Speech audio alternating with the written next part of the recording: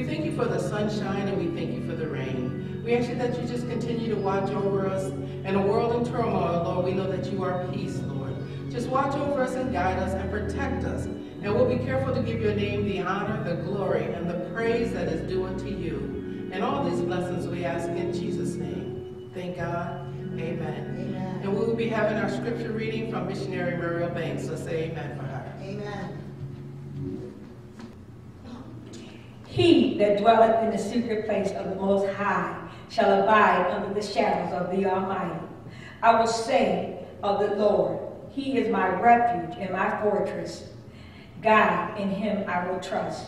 Surely I will deliver thee from the snares and the fowls of the nuisance pestilence. He shall cover thee with his feathers, and under his wings shall thou trust. His truth shall be the shield and buckler. Thou, thou shalt not be afraid for the terrors by night, or the arrows that fear thy day, nor the pestilence that walketh in darkness, nor the destruction that wasteth at the noonday. A thousand shall fall at his side, and ten thousand at the right hand, but it shall not come to thee. Only with thine eyes shalt thou behold and see the, the reward of the wicked. Because thou hast made the Lord, which is his refuge, even the Most High, thy habitation. There shall be no evil befi- uh, befall thee, neither shall their pledge come nigh and dwell. For they shall give his angels charge over thee to keep thee in all thy ways. I have read you Psalms 91, verses 1 through 11. May God have blessed you.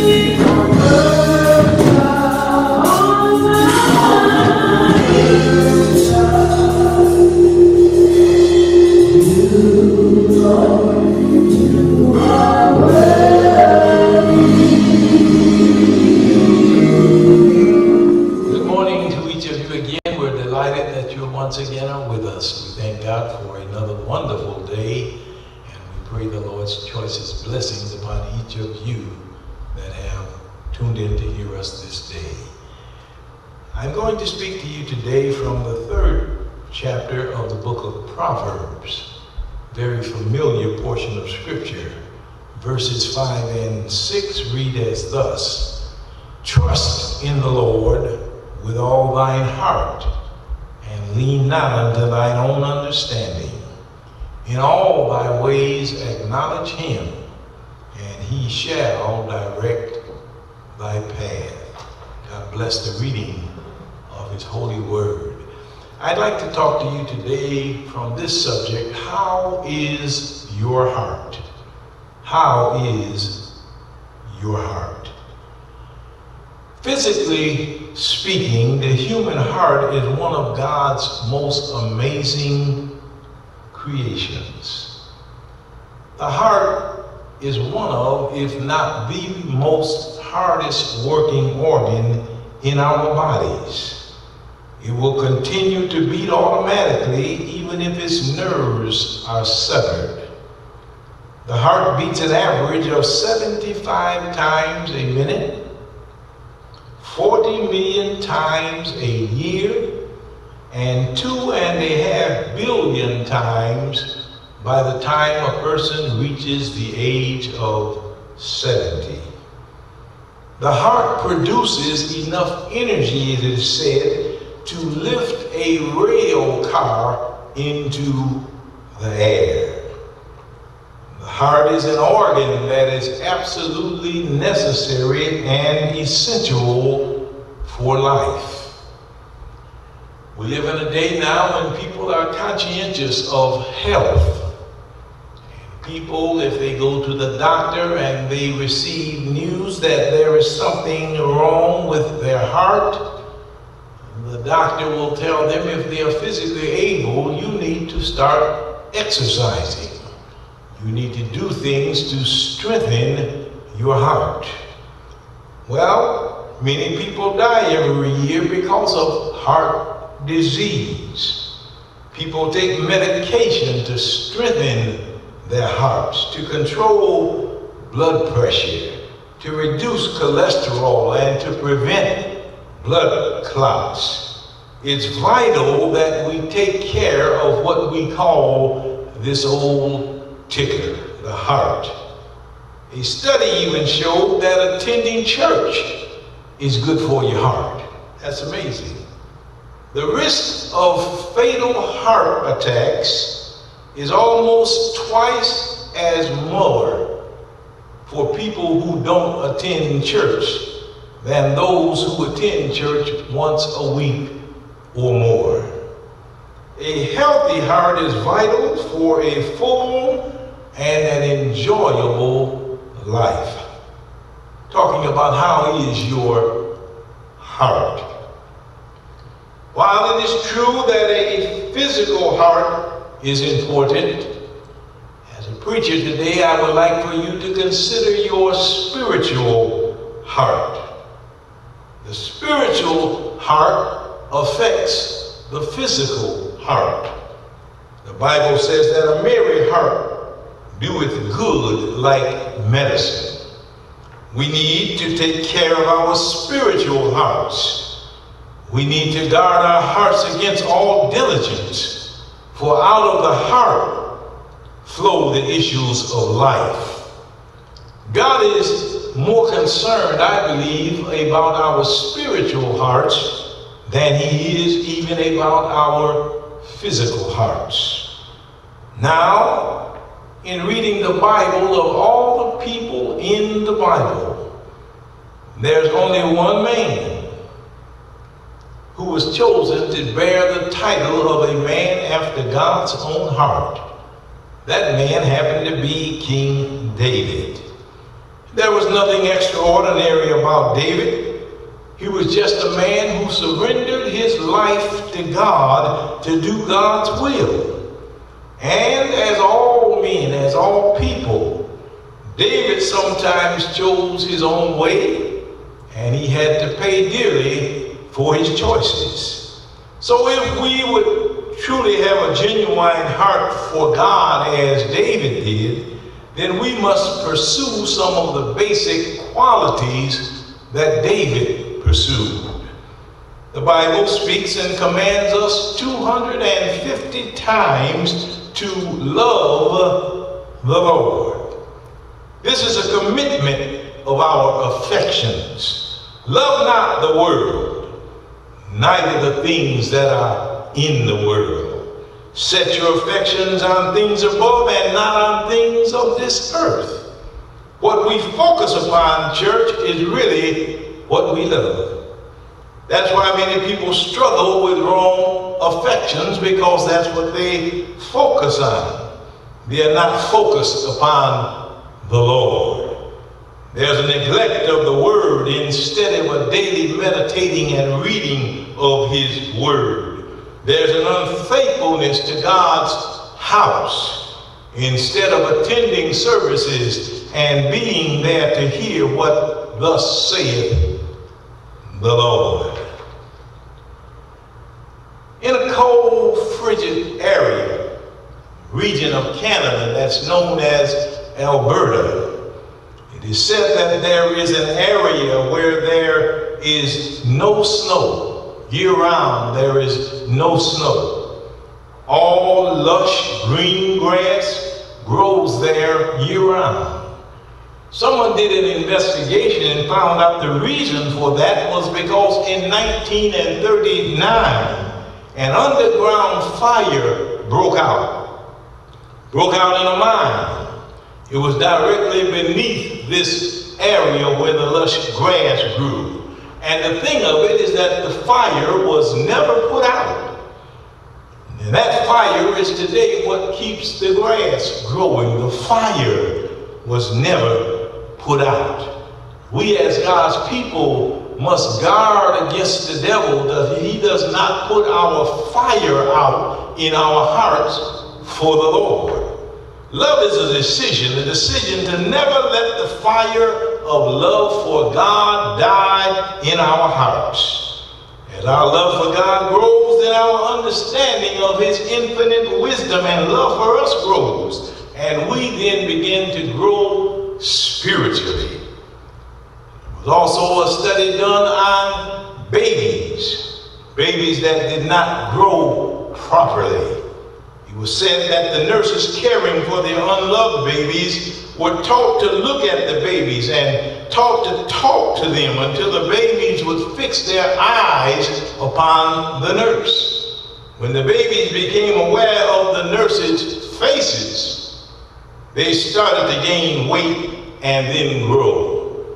Well, our Bible teaches us that we should focus on Jesus. Our love for him should grow and our understanding of his love will increase as we focus on him. The result is that we will grow and develop a greater love for the Lord. So I invite you today to determine by faith to go in God's direction. Don't make decisions and then end up saying, I sure hope the Lord is going this way. Find out which way the Lord is going, and then you head in that direction. Remember that God told you, trust not in your own understanding. Trust in the Lord with all thine heart, and lean not unto your own understanding. In all your ways acknowledge him, and he will direct your path. In life, we often make decisions without consulting God and without seeking his will. So the greatest struggles that we face today don't come from Satan's attack. Really, our greatest struggles come from our flesh. Whether it's going to be my way or God's way. We have a choice today, church, to make. We have a choice to obey what we know is right or to obey and do what our flesh wants us to do. You do remember that Paul said that when he would do good, evil was always present. But then he turned around and informed us that I can do all things through Christ that strengtheneth me. When our spiritual hearts get strong, we can do whatever is necessary to please the Lord. Keeping his commandments is not grievous, but is victorious as we obey God through his word. Each and every day, the choice is given to us to exercise our spiritual hearts. If the doctor tells you that your heart is somewhat weak and that you should walk to exercise your heart, he doesn't mean walk once a year, but you've got to get into a routine of walking. You might not run a marathon, but you've got to exercise to get that heart stronger. And so it is with the Lord. If our spiritual hearts are weak, I'm asking you this week to start exercising in prayer. If you're weak, start exercising in reading the Word of God. If your heart spiritually is weak, start meditating on the goodness of the Lord. This week, let's set our hearts on doing several things loving the Lord, walking with the Lord, and obeying Him, and watch our spiritual hearts start to get strong. Watch us begin to tell people I can do all things through Christ who strengtheneth me, because you are having a stronger heart in God. Father, we thank you for the opportunity to encourage your people today to exercise our spiritual hearts. We might have been going to the gym or other facilities for this physical body. But one day you're going to call into account not the physical body, but our spiritual bodies. And how our spiritual hearts are will determine where we spend eternity. Pray today that each and every one that listens would exercise in you this week that their hearts might become strong, not fainting along the way, but strong enough to endure hardness as good soldiers of Jesus Christ. I ask it in your precious name. Amen and amen. Again, we're delighted that you chose to spend this time with us in fellowship. If our ministry has enhanced and even helped you in your walk with the Lord, if you would be so generous as to hit the Givelify button and remember us with a token financially, we would certainly appreciate it. Those of you that have been sick and have been calling in for the Tuesday prayer services. We have victory reports of people that have been healed and delivered. Those who have loved ones and have gone to be with the Lord, our prayers are with you that God will strengthen you during this time of bereavement. Until next week, the blessings of the Lord continually be yours.